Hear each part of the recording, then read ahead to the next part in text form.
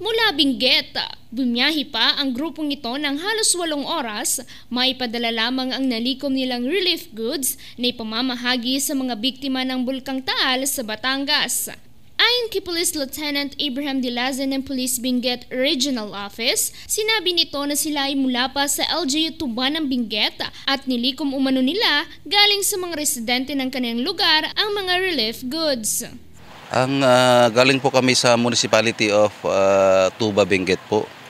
At ah, dadalhin po namin doon yung mga relief goods na bigay ng ah, local government unit under the leadership of ah, Mayor Clarita ah, Salongan po. So yung mga relief goods doon na dadalhin namin, yung mga pagkain, mga gulay, galing at sa mga products din ng ano, may mga tubig din po na dadalhin ng ah, ah, Municipality of Tuba. Pinangunahan din ni Wilhelm Abanse ng Disaster Risk Reduction Management Office ang mga nalikom nilang goods. Dahil sa mayaman ang kanilang lugar sa mga gulay, ito ang karamihan sa nalikom nila. Naghanda rin sila ng mga used clothes, tubig at iba pang pagkain. Ah, nag-start kasi to sa ah, social media may nagme-message from private sectors na tsaka constituents na, namin sa Tuba na gusto nilang mag-donate ng mga damit tsaka mga vegetables. So nagpresenta yung sa LGU namin na dalhin na lang nila lahat doon yung mga gusto nilang i-donate.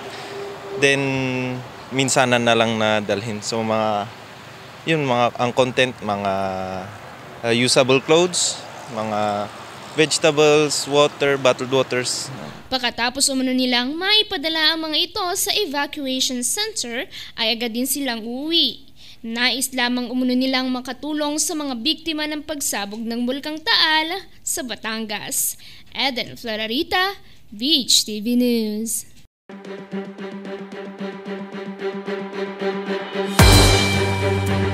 Tara na sa JJC Suits Laundry Services. Wash, dry, fold, and chill.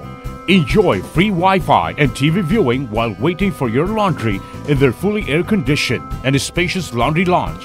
JJC Suits Laundry Service has also a parking space for easy drop-off. They also offer cold soft drinks, hot coffee, and other snacks. Convenience at your fingertips while you wait. JJC Suits Laundry Service also offers self-service and same-day pickup delivery.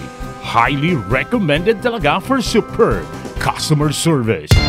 Located at Unit 1-E, Red Corner Residences, Don Street, Corner Dayangdang, Naga City, with contact number 0906 239 1957 or 099 9899 7714. So, ang extra service na ino-offer po namin ay comforters, ironing of clothes, hand wash, dry cleaning of shoes, and dry cleaning of clothes.